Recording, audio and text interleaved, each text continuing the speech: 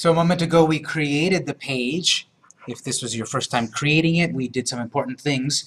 If you've created it previously, um, I mentioned that there were those couple of things to edit. But I'm also going to show you then before we actually post anything because right now, if I were to start to post stuff, just like when I talked about Google Plus and Twitter, you're trying to catch fish without a good lure. So that is, I don't have my logo here, I don't have my background cover photo here, I probably don't have my About screen set up, I don't have anything that will entice people. Why should I click like? The short answer of likes is the more likes you get, the more target audience you get. Things change, unfortunately, and when we play in Facebook's playground, we either play by their rules or we don't play.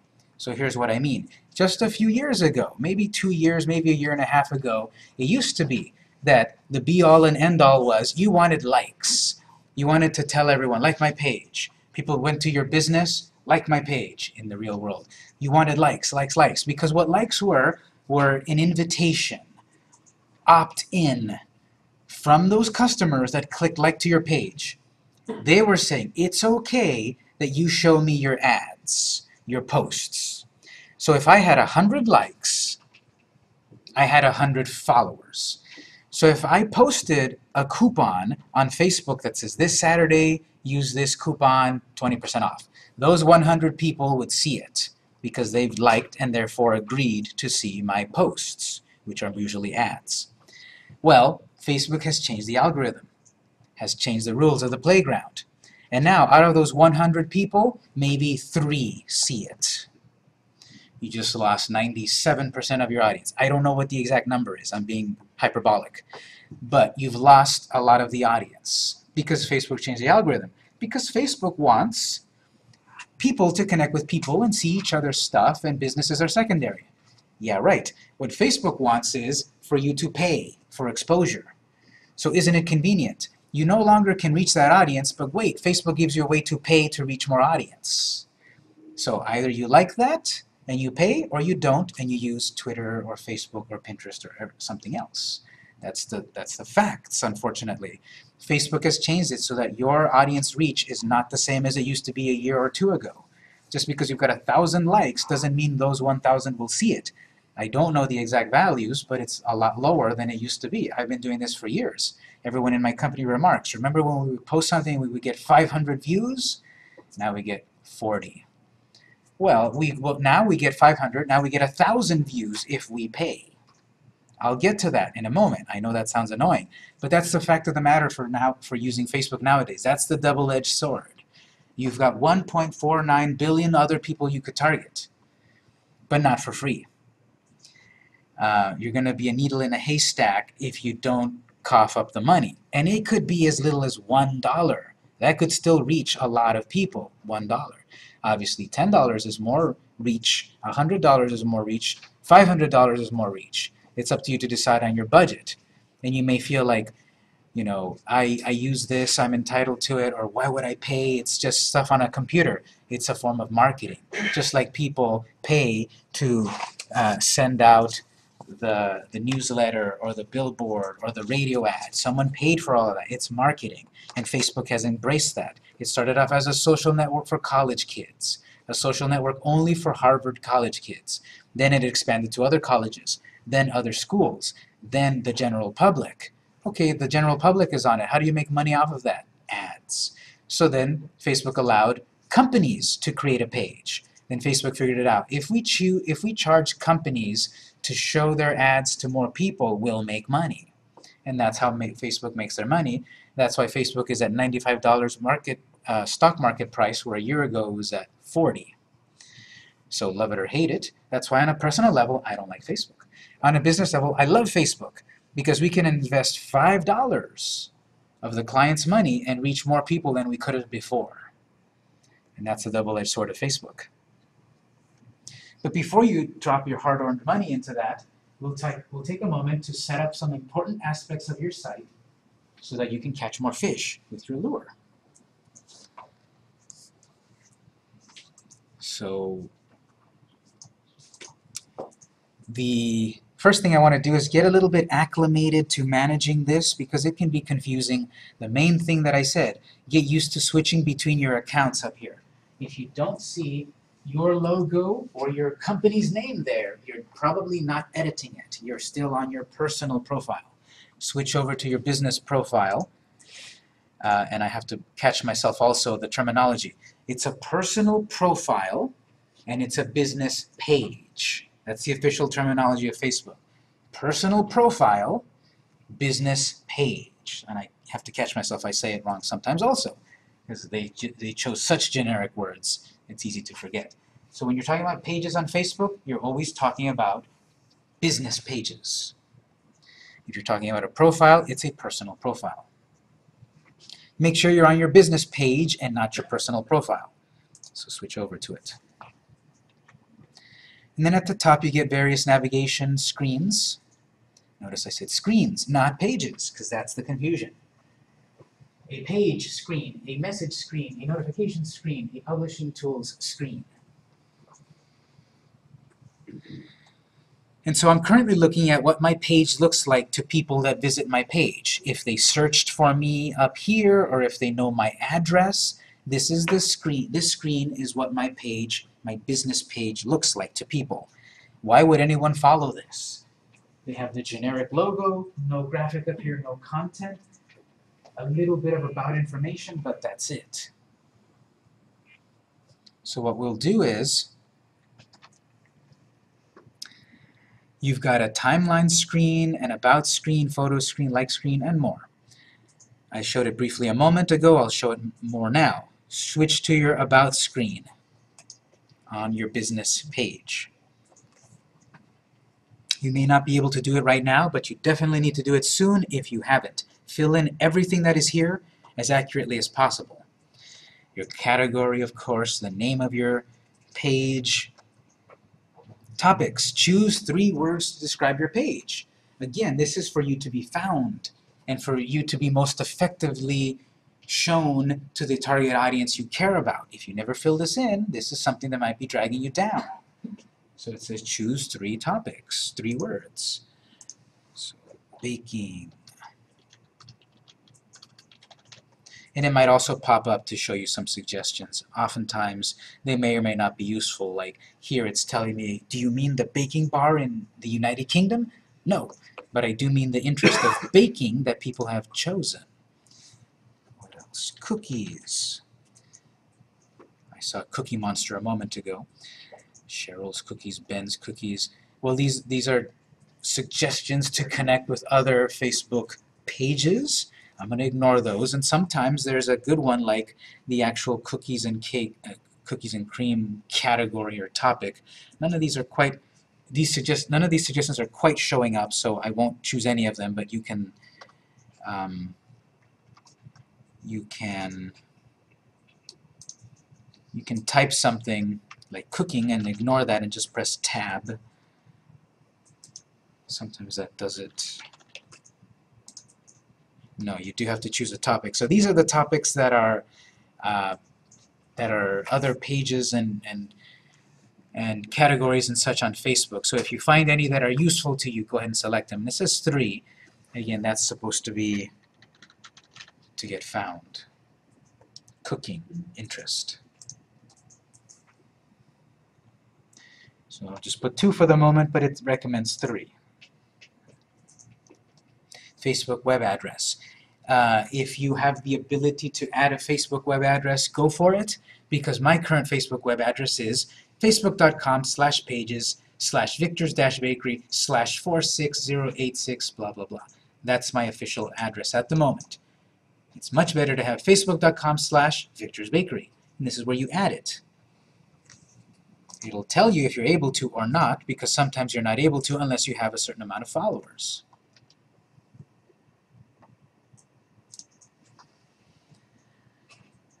There's a start date which you can set as this is the date that we joined Facebook or the date that um, that the company was founded on, started on, we opened our first restaurant, whatever.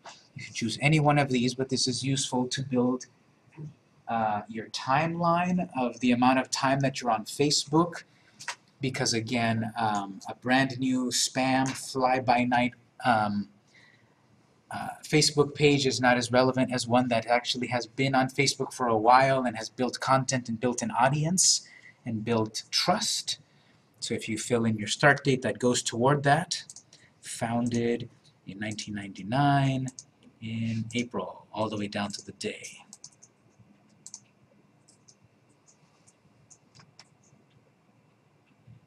Address, if you're a physical address, a physical location, you want your address there. That'll also help you get found. And it says if you add a valid address, people will be able to see and check into your page using Facebook Places. This is that other screen where you can set it up so that people can check in. And the checking in is useful because then that could lead to other strategies such as check in to our Facebook page this Saturday for 10% off. So if you have the ability for people to check in, they come to the restaurant, they check in, and show the server, I checked in. Great, 10% off. That'll give them that'll keep them coming back as you create these kinds of interesting marketing tactics. That's something that I can post on Facebook. Come to the restaurant on this date, show the server you checked in, get a free dessert.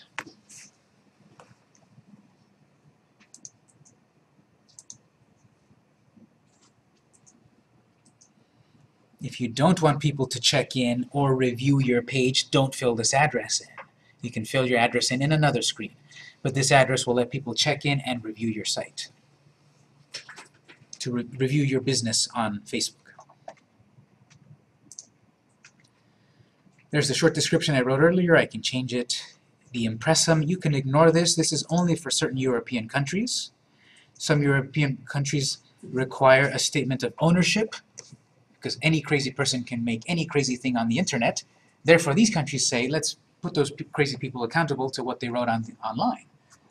Or let's put those, uh, let's put it on Front Street to show that these that this particular politician owns this particular page that is so positive for them. So not in, not important for us because we don't live in Austria, Germany, or Switzerland. The impressum. Long description. Again, you would take a moment to write a little bit more than the 155 characters to explain what your business is about, so then when someone searches on the top here, you could appear on that search.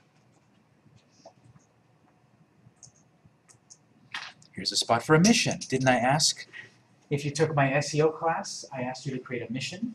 Well, I asked you to create a, a vision in this document that I gave you, a vision statement. You can use that to craft it as well. Founded date could be redundant based on the previous one up here about started, and that's fine. Any words, you can add products. I don't think this is very useful. There's a place, a, a place for you to add products, but you can't sell anything on Facebook. It's useful for search, but it's still going to take you back to your to your website to sell the product. And this is this is not useful at all really in a in terms of keeping inventory or really selling anything, it's kind of limited. Phone number for contact is useful. Email address is useful. On these two, of course, you want to have a business email or a business phone. You don't want your personal phone number. You want uh, to be called at the business location. And I believe I mentioned last week or two weeks ago, you can create a free Google Voice number. You can get a free phone number from Google. I'm not going to show you how. You can look it up pretty easy. But you can get a free phone number. Just search Google Voice. And you'll find out how to get a free phone number from Google. It is tied to a real phone number. So someone can call that phone number and you can have it set up so that when they call that phone number, it goes directly to your personal phone number or you can have someone call that phone number direct to voicemail and have a nice professional, you've reached victor.com, please leave a message. And then you never have to answer that business number until you hear the voicemail. But then that way that shields you from crazy calls. You can get, of course, email addresses, free emails from Gmail, Yahoo, whatever. Better would be to have an email address of your business.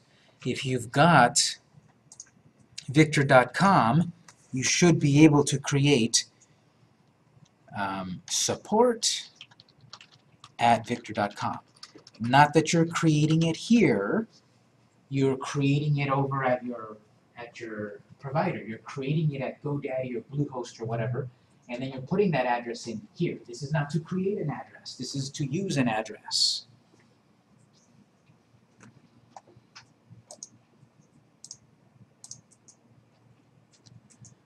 Here's my website.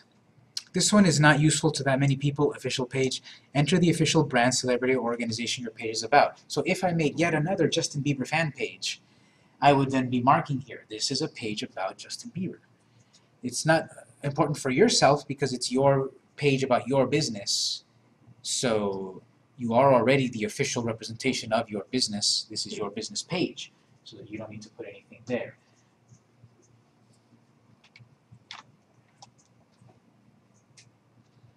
So this is important stuff to have filled in so that you have a fully legitimate filled in profile, I'm sorry, page, so that then people can find you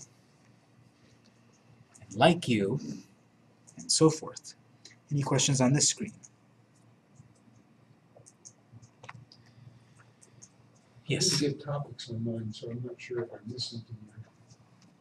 Unfortunately, some people's screens don't look exactly like mine, and that also relates to what, uh, what category you chose. So if you don't see every single screen that I do, you probably have a different category, and that's okay. You just fill in as much as you can of what is presented to you.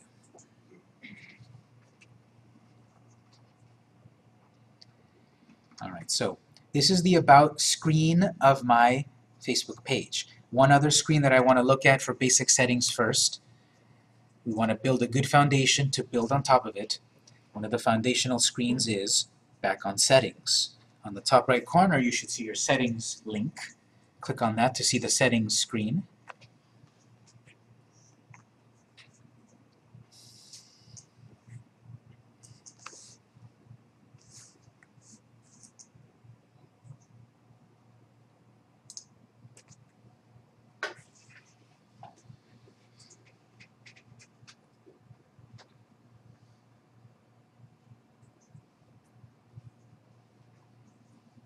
So on the settings screen, there's various sub-screens.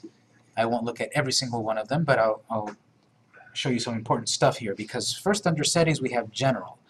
As I said previously, uh, when we talked about Twitter, there's many examples all the time of Twitter fails, of companies using Twitter and using it badly, of companies trying to start a hashtag and the hashtag gets co-opted and their message is co-opted. That's because Twitter is very, very open. On the other hand, Facebook, for better or for worse, is a place like Google Plus where you can control your message more. You can post stuff on your business page, and if someone posts something mean, delete it. That's it. If someone posts something on topic, delete it. If something, someone is being mean, block them. That's it. You control the message, and it's okay. There's no problem about infringing on someone's free speech and my First Amendment rights and blah, blah, blah. This is your property, your Facebook page. Just like someone cannot come to your front door of your house and yell at you, you tell them, get off my property. Go yell at me on the sidewalk where the cops can get you. So, um, here is your own property as well, and there are various options here that I will make you aware of to keep your property more secure, to stop the spammers and the haters and all of that. Um, it's uh, right here, the, the third option, visitor posts. Anyone can publish to the page. Anyone can add photos and videos. Right now, you have the door wide open for your page. Anyone can write anything and post anything to your page. On the one hand, that's great because I want to build an audience. On the other hand, that's terrible because anyone can post anything they want on your page. You can delete it, of course, I'll show you where, but better safe than sorry. Ounce of prevention. If you click on edit, allow visitors to, to the page to publish a post, yes or no. You can turn, totally turn off comments on your, on your Facebook page. You may want that you, you may want to put out your content and not let mean people write mean stuff. But as I said previously also, um, I recommend, and my company runs social media as a dialogue rather than a monologue. If you put disabled posts, you will have, you're creating a monologue. A monologue is one person talking out to someone. A dialogue is back and forth. And I believe that a, a social media should be a monologue. You you post something, people react to it, respond to you, you respond to them, you get the ball rolling, you get followers, you get interaction. You put it you're a monologue, you put something and it's kind of a dead end. No one can reply, maybe you can get a like, but then you don't have the human element of replying and, and all of that. Maybe sometimes you will get a negative post. Maybe I do get a negative review. That's part of the business. Some people have a negative experience legitimately, and then of course there's some that take advantage of negativity to try to get something out of you. But I think in the long term, those that are negative can be swayed over to being positive by addressing them. So if you have the ability for people to comment on your on your page, and it's a legitimate negative concern that they did find that cockroach in the pasta, then maybe you can contact them, communicate with them, and try to say, well, we're sorry that was a bad day. We fired the cook. Please come back and try us again, and we'll do better. Some sort of way to try to um, smooth things over. Um, so allowing people to comment is a good thing. But what's better is review posts by other people before they are published to the page. And that is not on. I highly recommend you turn that on. People can still get the box that says comment or reply or whatever, but it will not show up until you approve it.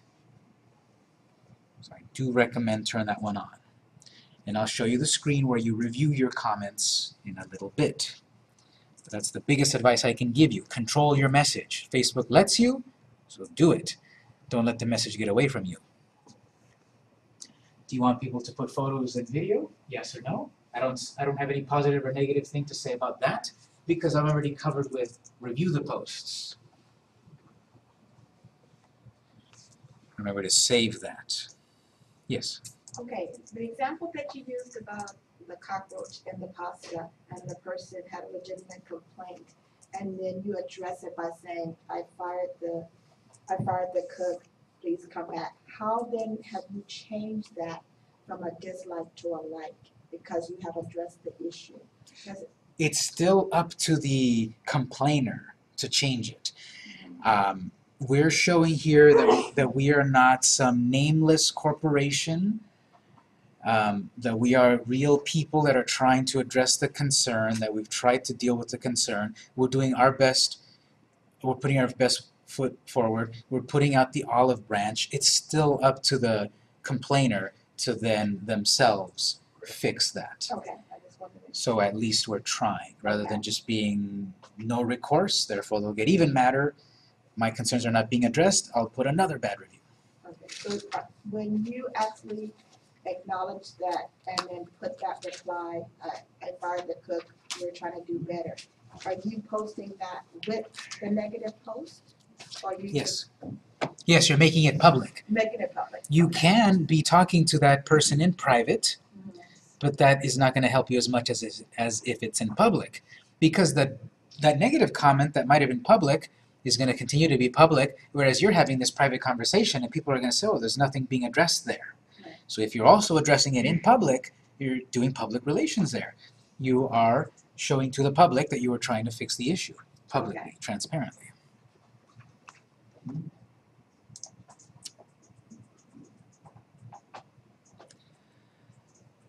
So I mentioned uh, favorites, don't worry about favorites. Page visibility, currently the page is published. You can unpublish it te- temporarily to make some changes and such. So that's how you can hide your page. Remember to republish it if you do hide it. Newsfeed audience and visibility for posts. Um, when we set our target audience earlier today, we were targeting this various audience. We can also target individual posts. So if we click edit there and turn that on, every post that we make, we can then target individually. If you set up the previous screen about the general targeting, you might not need to do this because you've already chosen your target audience. But if you need to focus a particular post to another target audience, you can turn that on. And when you post, each individual post, you can set that target audience. So you can decide what to do here. I have no positive or negative to say here. I'll leave it alone. This is new. Expiring posts. It used to be that you posted something and it would be there forever. So someone can go back five years ago and see that post if they search back for it. Now you can set posts that expire. So if you've got that sale um, that was only this weekend, why would you keep running that post a month later?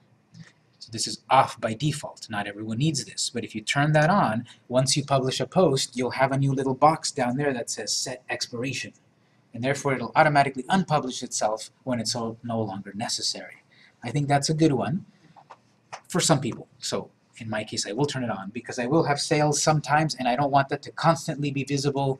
People coming to the restaurant, they didn't see the date was a year ago and they say, why don't I get this free meal? It's Saturday, like you said. It's Saturday the 13th. Why, why don't I get this free meal? Oh, sir, the post says a year ago. Sorry. So if you set that, that'll help you. Messages. Allow people to contact my page privately by showing the messages button, and it's on. I recommend this one, you leave it on. Yes, any crazy person could start to privately contact you, but that's how we have the block ability. But here is good because maybe the person didn't want to put their big mean complaint right on your home page. They wanted to contact you privately and fix this privately. So now we have that ability. Your particular page has if a person visits your page, I can't see it because I'm logged into my page. But if a person visits my page, they will have an they will have a button to message me privately, the manager. So that's a good one, I think. Tagging ability, this is up to you to decide. This is currently off in my case. Someone might add photos and they can add a tag meaning that this is a photo I took at Victor's Bakery, so it's tagged Victor's Bakery. The good about that could be that as the friends and followers of that account see that photo and see that it's linked to Victor's Bakery, they may click through to my page and maybe follow my page. So if you let people tag you, you could get more audience exposure. It's off by default. Not everyone needs or wants this, but it could expose you to more people if you let people tag you, your, your page, on their photos and videos.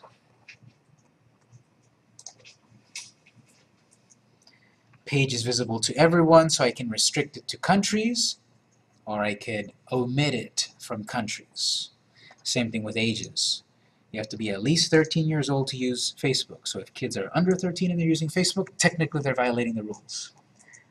I won't tell, but uh, everyone 13 and above, 13 and above, alcohol related. Say everyone can see my Facebook page. Page moderation. Allow words or comments containing the following words. Add words to block separate by commas. So here you can put in some keywords uh, that you don't want to be visible on the page. Well, I've already got moderation at the top. So this is like double protection. And honestly, we usually don't do this. We have the moderation at the top that handles it. But here you can add words specifically. And um, you have 10,000 characters to add here. So if any of these posts are used, it will automatically be marked as spam. So then it won't even show up. Profanity filter is off, so you can turn that on and you have different levels of it, medium and strong, and this is determined by the Facebook algorithm and the community itself. So some words that you might find offensive, others might not, and vice versa. We've got medium and strong.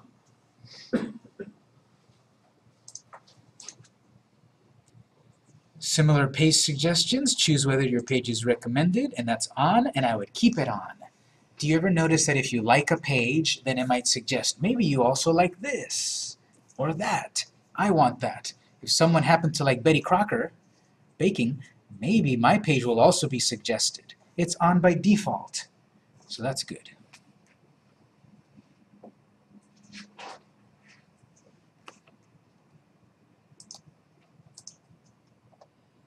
You can have people uh, rank people's comments. That gives a sense of community and so forth. If someone commented on something and other people like that, they can click like those likes could then spread out to other people, so it's sort of like spreading your content a bit more. This is up to you to decide. I think it's it's useful. So I would turn on that one. Because as people are commenting on this, the best comments will rise to the top. Hopefully the positive ones. And not just hopefully arbitrarily, because you're moderating things. You're saying this is good, this is not, and therefore you're controlling your message.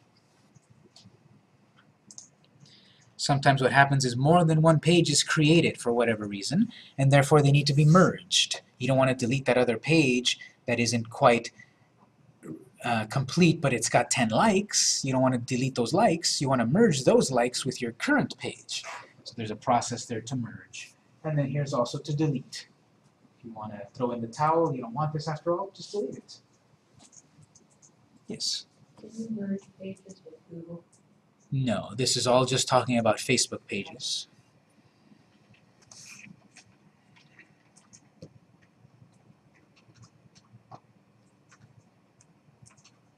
So again, I won't look at every single one of these pages, but let me mention a couple more. I mean, I won't look at every single one of these screens, but I'll look at a couple more that I think are useful to you, such as on the left, page roles. Go to page roles. This is where you add more managers. This is where you add more people to be able to control this page. It's not just one person using one login, which is a big failure point. It's multiple people using their own logins, which is better because if one person gets hacked, I can just go back to this screen and remove them as a manager. No, no more harm done. So here there's currently one admin because I created it. I can add more people here. And this assumes that the other managers you're adding already have a Facebook page, a Facebook profile, a personal profile. If they don't, they'll be prompted to create one, so you can't get away from it. But if you've already got people that you want to add,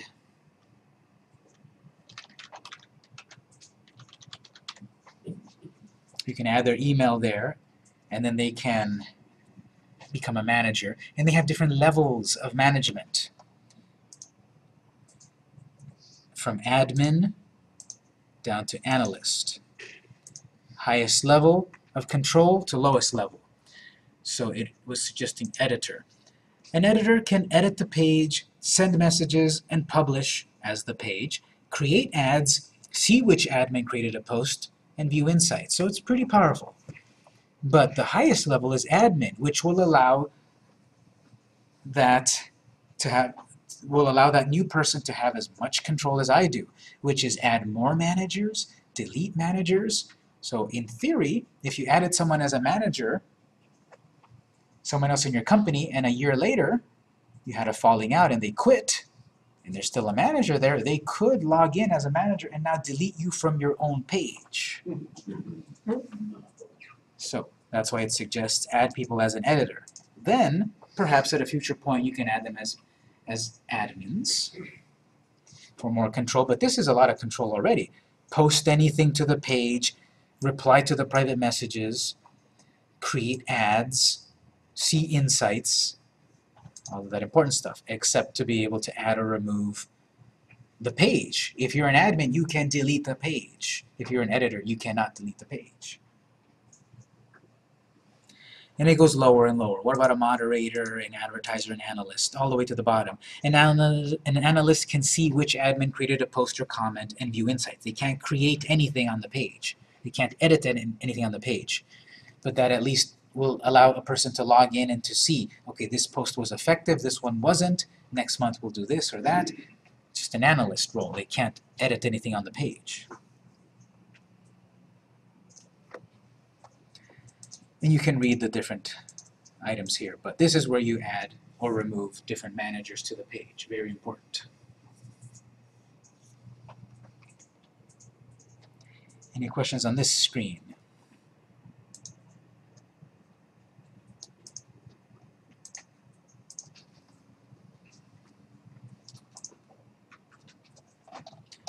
I'll mention very briefly under the notifications screen, Just like I mentioned notifications over for, uh, for Twitter, you might get a lot of uh, items in your inbox and such. You can always look here, turn things on or off. All of this is on by default. Um, so you're going to get a lot of updates and notifications when something happens. You can turn this on or off depending on what you care about.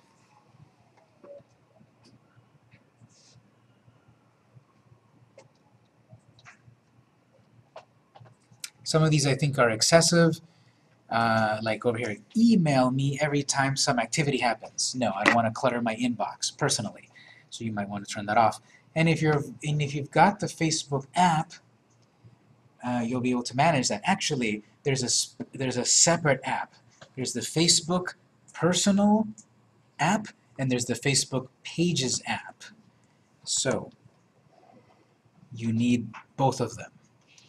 Well, at least the the one that you for the page. So Facebook I'll do iPhone first. A, uh, Facebook iPhone Pages app. You want to get the Pages app Manager app. It's separate. It's not built into their main app, just like they've spun out the messaging portion to its own app. So they've got an app just for managing pages. Just, just because you have the Facebook app doesn't mean you've got the Facebook page managing app. It's the one that should have a flag on it. So if you're going to manage your pages on the go on your mobile device, you want the Facebook page managing app. It's for i it's for Android, it's for iPhone. Um, it's a separate download.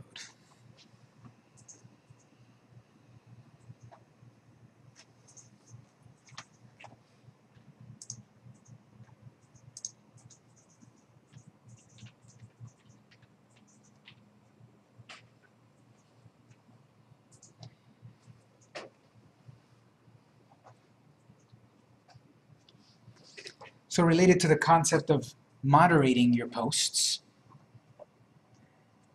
we have a screen right here at the bottom, activity log. Click on activity log. This is the screen where it's going to show you here are the comments that are awaiting approval. It's going to show you here activity about John posted this on Monday. Sally has this scheduled for Friday.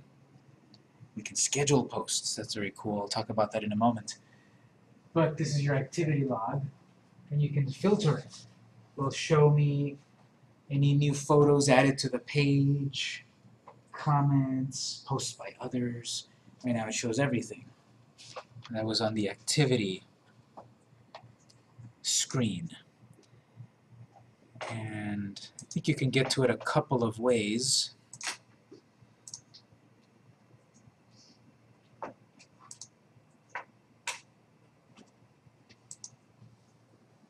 But one way is under Settings, Activity Log.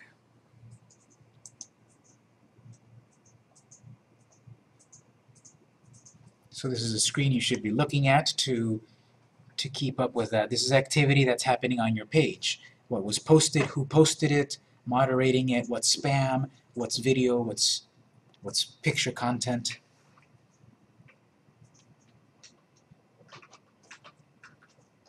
It's a brand new page, so I have nothing here. That's understandable. And the other related kind of screen like this is notifications. We have page, messages, notifications. Under notifications, oh here it is also, activity. So under notifications, you'll get notified. Oh look, Victor Campos liked my page. He's a nice guy. You'll get your, your notifications of likes and comments and that sort of thing. Under notifications, requests, information requests, so questions and such, and then activity.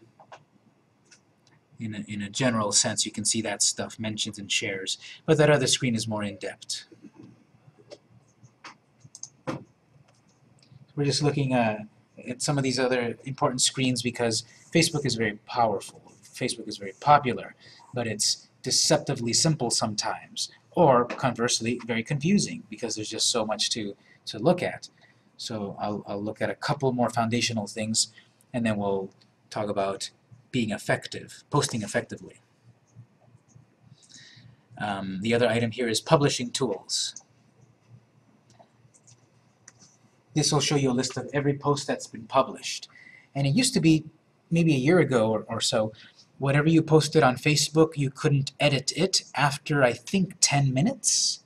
They only gave you a window of like 10 minutes, 15 minutes, or 5 minutes or something that you can go back and edit it. Now you can edit any post that you ever published. So in contrast with Twitter, where once you tweet that thing, you either delete it and post it again because there's no edit. Facebook used to be that there was a time limit and then you couldn't edit it, so you had to delete it. Now you can you can edit them, no problem. You could go back to a previously published post and change it if necessary. Google Plus also lets you edit any post at any time of yours. Schedule post, we'll see how to create one in a moment, but schedule posts are very useful uh, because I don't want to be changed to the computer all day long. I've got to run a business. So if you spend one day, if you spend your Monday and maybe an hour, you can plan a whole week or month's worth of posts on Facebook and schedule them and they will automatically get published. You don't need any extra tools. It's all right here under the publishing tools.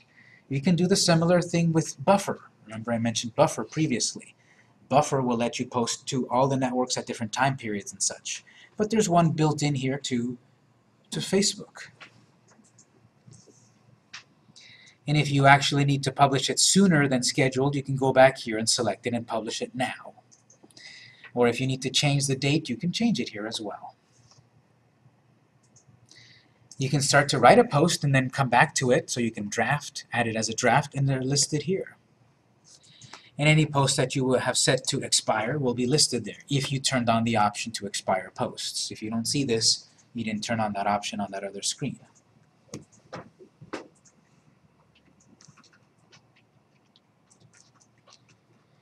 Messages, of course, would show you any messages that are that you're in contact with people, so nothing big there.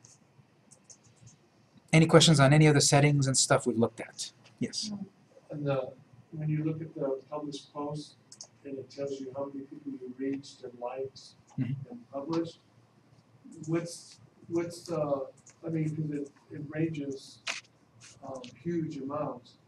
Um, what information would, would you take? Um, like if you look at one post that had like three hundred and five reach, would you be looking at the time of day that you posted that? I mean, how would you use that, how would you find out why you got three oh five on that particular one, but another post you only got five?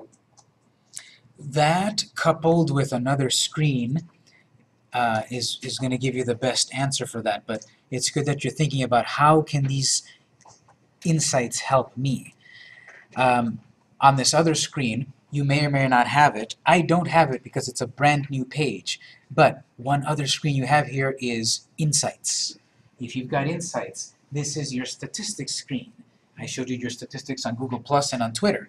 Well, on Facebook, you've got insights. You won't have insights, however, if your page is very new and it hasn't had activity, because there's no insights to show you. But if you do have the insights uh, tab, the insights screen, that will break it down for you even more to tell you in detail, okay, here's the activity here, and you can break it down by date and time and gender and everything, and that's going to inform you, okay, I posted this photo just by looking at it right here. Here's some recent posts, and I'm seeing its reach. 484, 328, consistent, that one's a little lower. How much engagement? That one had higher engagement than that one, but less reach. Um, so that's helping to inform me. Well, what kind of post did I put? Um, was it a picture? So it tells you that was a photo. This one was just text, and notice the reach it had. So with the data, the answer, the, question, the answer to your question is the data itself. You have to look at it to determine what's effective. Uh, you have to post, you have to cast that net, and then you'll see what you've caught. So if you are mostly posting photos and it's all the same sort of reach, try posting something else, something that's not a photo, something that's text or a link or a video, and then check back your insights and see if that if that was a bigger impact because people might have just been tuning out another photo, another photo. Then you have a video Right. caught the attention. So, so my question is, that's what it was, it was a video, and it had the largest amount of reaches. But did it, did it send that video to, to all the people that tied to that page?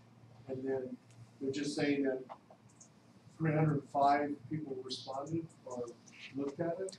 Basically, but remember we have to re- we have to recall also even if I have 500 likes, Facebook is not going to send my content to all 500 anymore. Right, So it'll send it to some amount, but we saw that it sent it to more people than just your other kinds of posts. right, So Facebook's algorithm itself is deciding, well, this account has been posting, this this page has been posting the same thing over and over and over. It's kind of dying down. Oh, they posted something different, let's boost it up a little Okay. bit.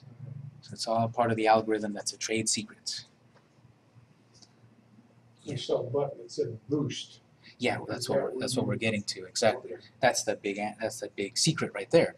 Because if you see briefly here, on this particular client, all of these are reaching good amount of people. It does have like, I don't know, two thousand likes or something, and it's only reaching a quarter of that. That's just the nature of things. But look at this one, this reached three thousand five hundred. There are not three thousand five hundred likes on this page yet. They reached more people than have liked it, because that's been a boosted post, which we'll do in a moment. A boosted post is the post that you pay for, and it could be as little as one dollar. But we can clearly see much more reach, and that's very cynical, obviously, to say, very cynical. Oh, of course it reaches more people because I'm paying for it. Yes, play in their playground or don't. Question? Um, you threw a question, did we have any questions before you move? Yes. I wanna go back just a second. When you click moderating it, I'm gonna find those places to approve them under published post. Is that correct? Yes, let me let me confirm that. Um, you're going to see it um, under notifications activity. So uh, we've got notifications, activity, and then you can look at mentions.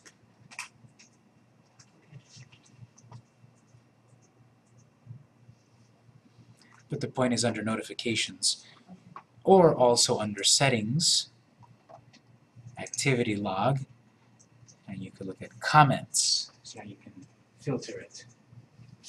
Comment.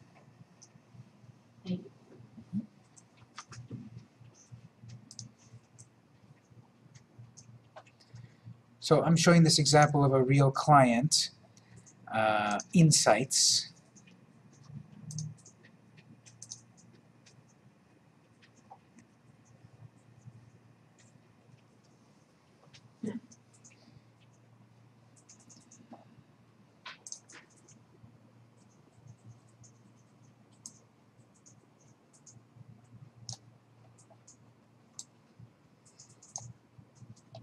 Me show it like this. This is a longer period of time here. Uh, this is, I'm looking under Insights and then Reach, Post Reach. The number of people your post was served to, so the number of people that saw the post. Again, we cannot correlate the number of views and likes to sales. These networks can only lead the horse to water, they can't make them drink. So, looking at this time horizon from 2014 to now, notice how there's the color dark orange and light orange. Light orange is organic. Light orange is uh, is the reach that my post had without paying for it. So if I back it up over here just to compare. Okay, so there's a time period right here where the where we were posting stuff you can see the stuff on another screen. We were posting stuff, and then notice the spikes. Whenever we post something, there's been activity. So again, if you don't do it that often, then your spikes will be further between because you're not really talking to anyone. But there's something posted, and it tells you the dates and such. So when something's posted, there's activity, and then it dies down a little bit. Then there's a residual effect to it. And so at this time period, it was uh, 450 each. Reach is just that your content was sh- was shown to people. We can look at well in that same time period, what were the likes and the comments and the shares? That's good. On that day, there were 33 likes um, to the post, not to the page, to the post. We see the likes to the page elsewhere. There were 14 comments and there were two shares. Same thing here. 23 likes to the post, five comments, four shares. So those correlate with the spikes up there. Zoom out a little bit, like that. So this correlates with that up there. You have activity and you'll get results. Well, notice there's the there's the spike and the spikes don't get as high as they as they do sometimes and that's related to a variety of things. The algorithm, the Facebook algorithm, the Facebook rules decide how far things go, the reach. But we always have in our pocket, if I go over here, look at that reached 1,500 reach compared to only 500 here. Well, that was because that was a paid, that was paying Facebook, that was boosting a post. That was creating, that was crafting a Facebook post, putting a little money behind it, and then it reached 1.5 thousand people rather than half a thousand people. And notice it spread out over time. There were 504 reach on that day. A day later, 1100. A day later, 11.9. A day later, 1200. And then a day later, a little less, a little less, until the campaign funds ran out. But then that was residually also upward. So when you add paid posts to your strategy, you will reach more people and you'll have residual effects that also last after that. I can't tell you how much longer or give you a formula or whatever, that's all trade secrets on Facebook. You're just going to have to try it on your own, spend a few dollars here and there, as little as a dollar. Although maybe five and ten and twenty dollars is a little more effective. As we can see over here, Look at how that one jumped up to 2,000. That one, 5,000. Usually with these clients, we never really spend more than $30. That's the price of taking the family out to somewhere cheap, right? but um, it's not that much, $30. And you and right here it reached a 5,000. Come um, conversely, look at how also that got us those likes and then those shares and those comments. And what I'm doing, as we'll do in a moment, yeah, we're going to throw money behind that, but we're also going to craft a, a, post very similar to what we've been talking about Twitter and Google+. Plus. Your, your message and your content isn't going to change dramatically from platform to platform, just your tactic. On Google Plus, I said, we're going to craft a message and we're going to put it in a community. That's where everyone is. On Twitter, we're going to craft a message and add hashtags. That's um, where the people are that you care about. On Facebook, we're going to craft a message and we're going to boost it. We can go pretty far without boosting, but we'll go much further with boosting. And you may have an, an aversion to spending on, on this on Facebook, but it does work. This customer, every time we do a boosted post, it reaches more people, and we can then check the cash register and see that more of that item was sold. We can see that if we do a, a post about this particular meal, the owner will then give us a report, or if we ask for it, they'll say, look, this was sold more times than normal because of that exposure on Facebook, because there's so many people on Facebook. Even if you've only got 41 likes, you can still reach 400 people if you pay for it. And we'll see how much we can pay to reach those, those levels, and we can choose good budgets. We don't have to be spending $500. Maybe we've spent, maybe we resolve to spend $500 in one year of Facebook, or two years, or whatever. We just have to do it consistently and smartly. Question? Yeah. It was over there on the right, it says. Like you could do some manipulation to numbers to see something over time. Yes, there's a screen somewhere here where we can benchmark ourselves uh, in relation to other related companies. To remember where it's at. Oh yeah, right here. Uh, under Insights and Overview, we can then uh, set up pages to watch, which is to benchmark, which is to compare this page with another page, or more than one. So if we compare this particular client with this competitor, we can see some insights here. We'll get more of that benchmarking to see, well, what are they doing, what can we do, what can we do better? Yes. As a consumer, can you tell if a post has been boosted? No, not to my knowledge. Because that's internal, there's nothing at the moment that, that the post is marked as. It's just that they, that that it showed up for someone, that's it, so they don't get an indication that it's been boosted. They might change it at some point, uh, but anything that ch- Facebook changes really is in service to how can they make Facebook better for Facebook, not for people. Yes. Um, pages to watch, um, that's confidential, that's only, um, Yeah. That's only visible to you as a manager in this screen. It's not going to be visible elsewhere.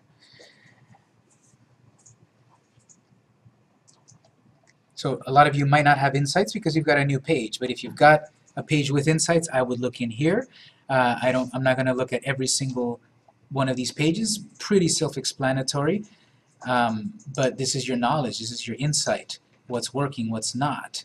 Right here, because this page has been around for a while, this is showing, you know, the the, the day that most activity happens seems to be on a Thursday, 3054. Uh, close behind it is on a Monday, 3050.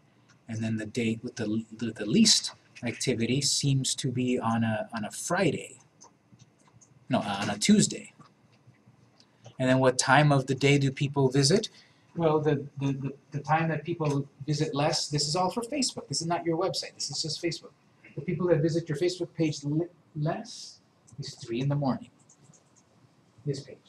The, the time that they visited more uh, seems to be there, uh, 8 p.m. So you won't know this until, until you start to use the page, post to the page, use it on a regular basis. Maybe as a beginner, you know, resolve once a week post something. You'll get better data the more you post. You don't have to boost every post, as I showed here. But the difference is stark. This got 22 clicks. People clicked 22 times on that link back to the website. This one that was boosted, 227 about Mother's Day. So, boosting does work.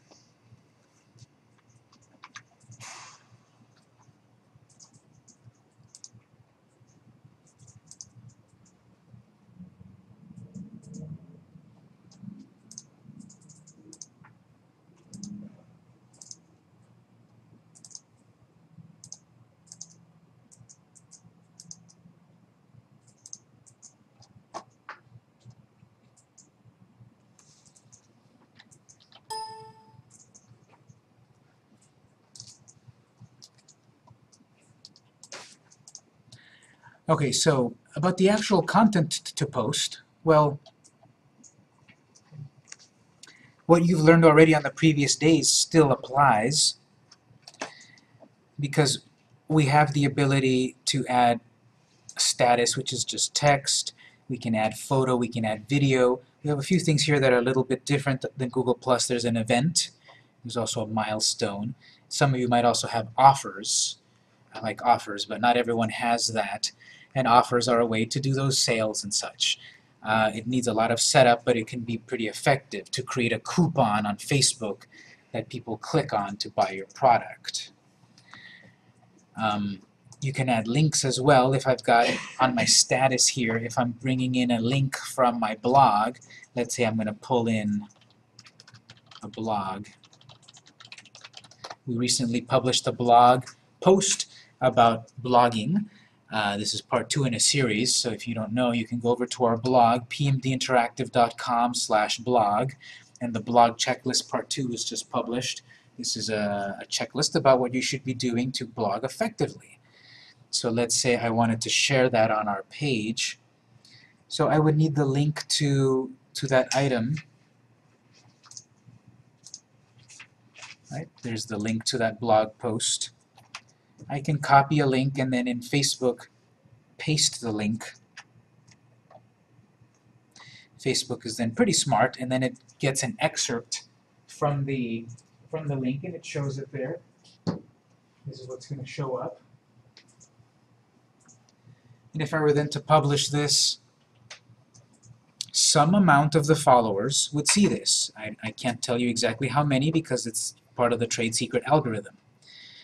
Some amount, let's say I've got 30 followers. Some amount we'll see, probably two or three, because Facebook is trying to show your content to the people that would care most about it, organically. Below every post, I have the ability to boost it. So I'm going to focus more about boosting rather than what to write because we've had two days of what to write on the other networks. Um, before boost post. I can publish it right now. I can schedule it. So again, I can spend one day to write 10 posts. That's 10 weeks of content, perhaps. Schedule them all here, and then they'll be published on that timetable that I set up. I can do backdate. That's not as useful, but it could be as in, what if we had a an anniversary, our one-year anniversary of our business, and we were having so much fun running the business that we forgot to post about happy birthday to us. So we can backdate that so that it was published on the day of the birthday. Save it as a draft. But the thing is that boosting posts to reach more people.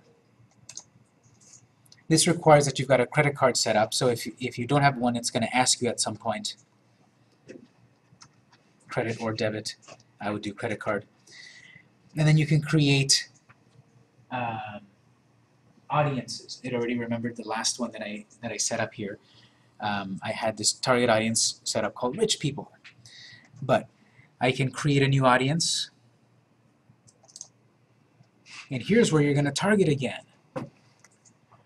It's similar to how I set up my page audience previously, but this is more effective because now you're actually putting money behind it to really reach an audience. So I wish this would reset to all blank, even though I told it I want to create a new one. It doesn't reset to all blank for some reason. So let me clear this out a little bit.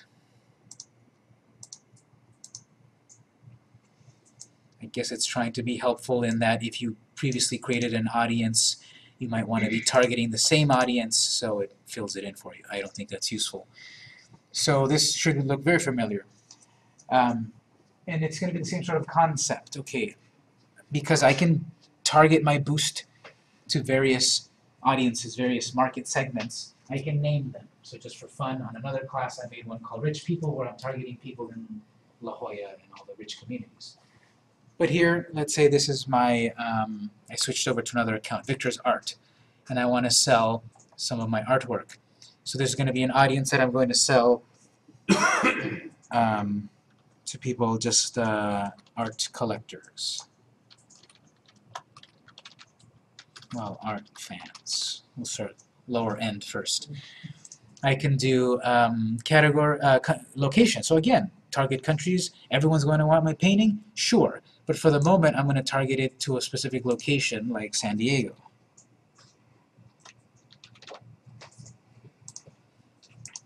Twenty-five miles. What age ranges? Thirteen-year-olds are not going to like my art, but 18 to 65, sure. Um, targeting women, I can do that. And then interests, again, and this one is saying 4 to 10, so I would take advantage of that, at least 4, 4 to 10. And this is an example where you where you still want to balance. You don't want to dilute the message, but be, because you are putting money behind it, they do work to spread your message to more of that audience. So let's see what happens. I'll do art. You mean arts and music, martial arts, artist, arts and music. And it's going to recommend here. And I really like these because it then helps you fine-tune even more. People give so much information to Facebook voluntarily, and here's where we're using it. So people that are also into painting, yeah, these are my paintings. and it's visual arts. So if anyone ever wrote about on their Facebook page or liked anything about painting and visual arts, Facebook knows that, and now I can use that to my advantage to target them. Let's see, arts and music. Um, maybe my paintings are surreal. So let's see what we get with surreal. Surreal hu humor, surrealism, surreal life, surrealism. No extra suggestions. Oh yeah, we got theater and illustration. Yes. When you're getting a list of words, keywords for say a blog or a, a, a YouTube or something like that, go online, there's, this guy has a theory of how to pick those, this guy has a theory of how to do it. And there was one website where I looked at it that said you can find websites similar to yours as a way to reverse engineer so you can see what they're using for their keywords. How do you get that? Is there any um, formula? You know, when you have to That's a in all the big can words? of worms that I open in the SEO class. one, okay. Yeah. So, um, in short, though, what you've said about looking at what keywords are working for others, that is a good tactic. Oh. And in the other class, we go into much more detail. But also, it's you, your own, yourself brainstorming and thinking about what to put yourself in the shoes of the people. What would they care about, or what would they be searching for? So um, there's various ways to do it, but that's a couple of ways. Look at what your competitors are doing, and then you also brainstorm in the shoes of your potential clients. So this is just my target audience here. I can of course refine it, but I'll say this is a target audience. So then the cool thing is, I'm going to be targeting these art fans. I can edit this audience. Here's my budget and my duration. So it's recommending $20 and I'll be able to reach 3,000 to 8,000 people out of a total of 420,000 people. $20 is not so bad, but you can always change this. 20, 60, and you say, well, I thought you said you could choose a dollar. Yes, choose your own, one dollar. You can do a dollar for one day, and this is going to still reach 180 to 470 people, even though I had two likes. So anyone can do this for one day, seven days, 14 days. Well, if you go more than one day, you have to do more than one dollar. Notice a moment ago it complained the minimum budget of one dollar per day, so your budget needs to be at least seven dollars. Okay, I want to keep this campaign open for seven days, seven dollars. Look at how much higher that jumped. So seven dollars once a month. That's a good investment in, in reaching Facebook audiences. Run this ad until whenever, based on what we've chosen here.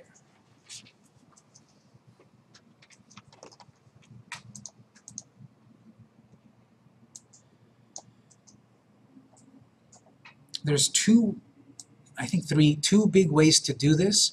What I did was I started to write the post and then I clicked boost and then it took me to the screen. I could go back and boost any post that I've already posted and it will still then take advantage of the money and be kind of like a new post to people. So I can do it at the moment that I'm posting it, I can boost it, or I can post it, see how that goes, get a little traction for it maybe, and then a day later or whatever, then boost it. That's another viable thing. You can boost at any point.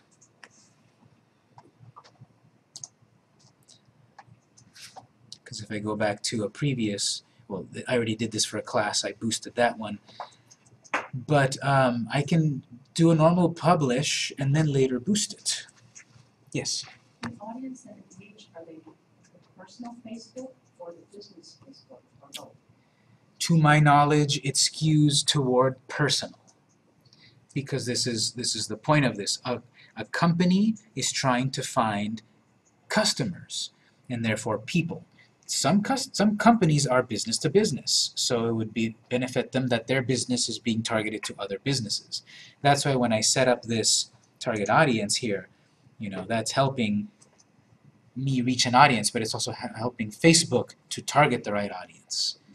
So it could go to other businesses if you are targeting the other businesses.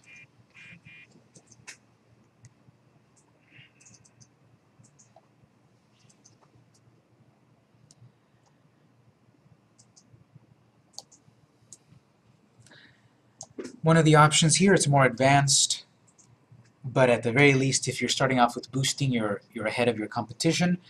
The other option that's a little more advanced is choosing a conversion pixel. A conversion tracking pixel is a small piece of code that lets you keep track of conversions, such as purchases and signups on your website. The question was asked, well, if I put this in, how does that relate to sales and such? The default is that it doesn't. If you go through the extra step of creating a conversion pixel, then that will help you track more. Is this really working and is it resulting in sales? This is more advanced. We can't quite get into it, even if we had the time, because this assumes you've got a website, you can edit your website, you can edit some code on your website. So this is going to ask you to add a little bit of code to your website so that then it can track the whole process from Facebook post to your website to the sales page. It's more advanced than what than than we can get into, even if we had you know the whole month long to work. Um, that's something you can read up on your own, and then use it if it's if it's uh, doable for you. So this is the big secret about Facebook, and it might be this is a big truth about Facebook, and it might be an ugly truth. You might think, well, okay, paying for this, this is so opportunistic, I just want to use Facebook. Unfortunately, they've changed the rules, they're going to continue to change the rules. How they've changed things have been effective. You can tell that by the number of users. They've added another 500 million users in the last quarter. Their revenue has gone up, their stock price has gone up, it's working. They have no reason not to go back to the old ways. So if you want to not get left behind, you need to think about investing in Facebook ads, boosting your post. Um, it can be very effective as I've shown you for that client. I can show you other clients and we'll see the spike in activity when you pay for it. Couple that with a link, something effective, a call to action. Let's say I'm going to boost this, but I'm also going to write something here like uh, our free guide will help you get more readers to your to your blog. What to write again is is going to be very similar to all the platforms, but they've all got their nuances. On Google Plus, you're posting to communities. On on Twitter, you're using hashtags. On Facebook, you're boosting posts. But in all of them, you're going to write something that answers the question, why would people care? You're going to answer that Word document that I wrote, that I gave you, and then you're going to think about the stuff that helps you answer these, these questions. And the more you do it, the better you get at it. To think like a marketer, to think as convincing someone. Think about it that way too. All advertising is about convincing you. You're hungry, so th- this hamburger will make you full I'm trying to convince you to eat it. You stink, so buy this soap, it'll convince you to not smell bad anymore. You, um, your family needs security in the future, they're going to convince you to buy that annuity. So it's all about convincing, everything, all marketing. So here, I'm convincing, it's free, it will help you get more readers. There's many ways to craft that message. But I'm just trying to convince people, read my blog post for you to learn how to write effective blogs.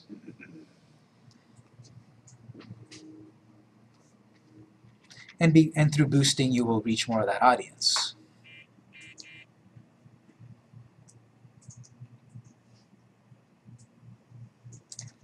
So we're going to end the main lecture on that note. There's still, of course, more we can learn about it, but I think you've got some of these tools to start to, to work on it, to think about it, and don't be afraid to spend $1 on Facebook, $7. And like I said, usually with our clients, $30 once a month. That's been pretty effective. More effective will be more money, of course, but there's budgets. So, general questions? Yes. So if you do put a hashtag on Facebook, will it, will it do anything or? Oh, okay, uh, good point. Hashtags, all the social networks have hashtags. Facebook saw that hashtags were effective on Twitter, so they said, me too. So you've got hashtags on Facebook, but I, from what I understand in my own experiences, it doesn't work. Hashtags, I think personally, and from what I've read, hashtags are dead on Facebook. Boosting is what you need to do. Hashtags are supposed to link you to other blog posts or other Facebook posts related to the same topic, like on Twitter, like on Google+. Google Plus has hashtags. That didn't quite take off either. Communities did. So have you, this class, when was the last time you clicked on uh, a hashtag on Facebook? Raise your hand. When was the last time you saw a hashtag on Facebook? Raise your hand. Okay, look at that. So hashtags didn't seem to take root on Facebook. So I wouldn't, I, I can't really say though on every, for every person, maybe your particular target audience loves hashtags. Doesn't hurt to try different messages and see if these hashtags are doing you any good. In my experience with my clients, it doesn't seem to be doing any good. Any other general questions? Yes. Great call to? Okay, so we've got create call to action. Add a button to get people to take an action. So a call to action is just some phrase or something that entices people to do something. So if I click that, I can have people click this button to watch a video, click this button to book us now, click this button to play our game. Not every single kind of action is listed here. But for example, Shop Now is one of the most important ones. And then I add my company's shop page.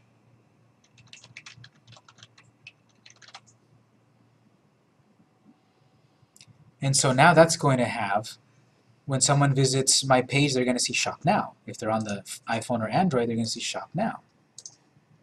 You can change that whenever you want. Maybe this month I've got Shop Now. So when someone visits, shop now right away, especially if you put in a big, beautiful picture right behind the shop now button. Next month, maybe we're trying to target something else, because good marketing is about changing things. Um, edit call to action. Okay, next month, we want everyone to see our, our video. So watch the video, and then a link to the video on your website, on your YouTube, wherever. Just a link to your video.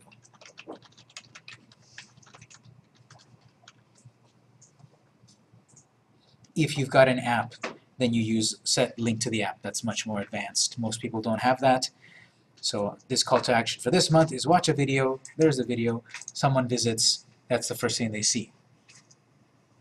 Maybe in the future they'll let us craft that a little bit more, such as watch our free seminar. But at the moment it's just these generic words, which I don't doubt they'll make they'll let you customize more later. But this is relatively new. Yes. What, what do you recommend, like, if you have a product, sort of banner on top, you can put your product there, but the one in the bottom or in the left is add a photo? Would you put the logo or would you put a picture of yourself? That's just personal preference? It's personal preference. If you are, if, if, if it's important for your face to be part of the face of the company, then yes. But uh, usually that's going to be your logo because that's creating consistency throughout the networks. If you're on Facebook, you probably should also use Twitter a bit and Google Plus, and all of them are going to use your same logo. So when someone jumps from platform to platform, they know it's you. They're going to be confused. I see this person's face, but on this other Twitter account, it's a logo. Is this the right page? Any confusion could then result in in loss of likes or loss of activity. So keep your logo consistent. You can change up this background cover photo through networks. That's fine. That customizes each network, but do keep your logo consistent throughout your networks. Last question? You use your face, your personal face, your personal deal, and then your company logo for your business. That's what I recommend. That's what I have up here. I have my own personal photo right there, and then I've got uh, a logo for for the other businesses. Last question. Your personal one all shut down so no one can get to it. It's just there to create the business. Yeah. So you just go in and Yeah, and your personal one, you don't um, have to fill in your high school, and you don't have to fill in your favorite book, and you don't have to do any of that stuff. You just need to create a personal account to manage business accounts. you have to go in and undo them, or are they all automatically undone? No, you have to undo it. If you added all that stuff in and you don't want it to show up, you have to go in and delete it. All right, everyone. So that was our three-week class on social media for your business, part one. When you come back next week, if you come back next week, it'll be day one of part two. Therefore, I have to enroll everyone again. But for the moment, that's the end of our part one.